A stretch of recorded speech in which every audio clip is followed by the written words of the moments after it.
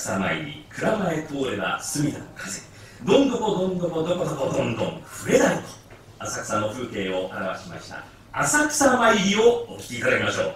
ここからは舞踊西崎堤の踊りとともにお楽しみいただきます。浅草参りでございます。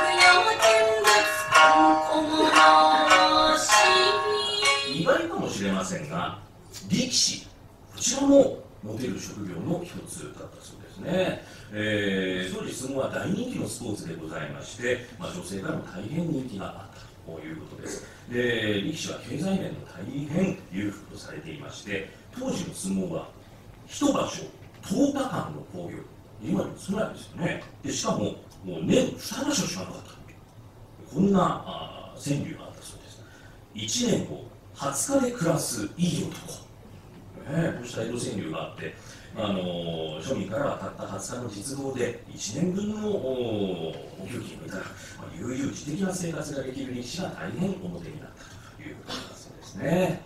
え浅草から蔵前を通り過ぎまして隅田川を渡ればもう両国でございます。両国と言いますと皆さんご存知の国技館お相撲でございますね。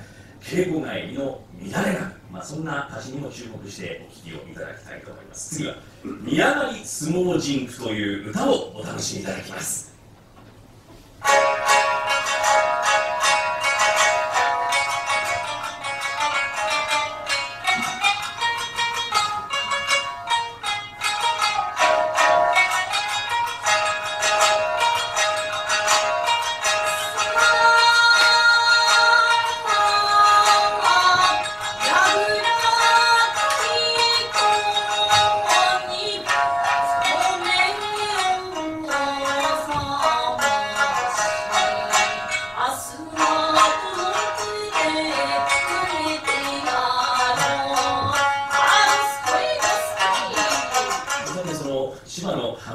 浜にまつわる落語の話、えー、芝浜という有名な話がございますね。前さん起きておくれ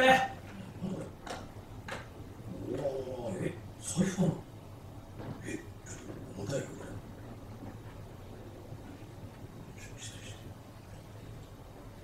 あ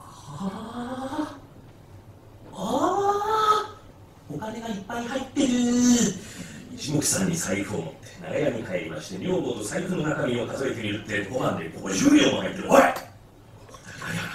毎日飲んで遊んでらしてけよああ友達を呼んで、えー、昼間から飲めない大騒ぎでございます。じゃあいいよいいよもちろん俺の俺ら飲ん飲んで飲んでもう歌って歌ってくれよ歌ってなな歌だったら何？ことがないと始まらないって。いやいやことだったらね友也っていいやつがいるんだよ。ああそうそうそう。あの友也もいいんだけどね。吉江もいいんだよね踊りあ踊りだったら今の時期は包みちゃんがいいから俺呼んで呼んでもらえるんで三味線がいるってから確かにそうだな三味線ゆかりかいやゆかりは寝てはいいんだけどあいつ来ると雨降るからよ。いやまあまあいやいやいや飲んでるみんな飲んで飲んでありがとう。今日ね久しぶりに一杯飲んでもらおうと思って用意してあるんだよ。さあもうおかんもついてるから。あら本当かいやさっきからなんかいい匂いがすんなとさそうかあちょっとここ匂いみたなああおおおっとっとっとおお酒さんお久しぶりだねえ元気でしたかもう匂いだけで食べとくわどうしたの山さんどうして飲まないんだいまあでもねまた有名になるといけねえや